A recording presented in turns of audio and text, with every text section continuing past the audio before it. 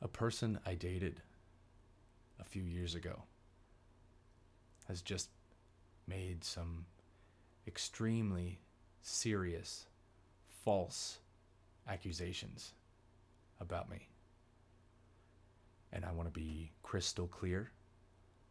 I've never done anything without her consent. I've never tried to trick her into anything. I read her her Tumblr post and I was I was shocked and I was hurt. These allegations are absolutely false. I just wanted to address it. That's all.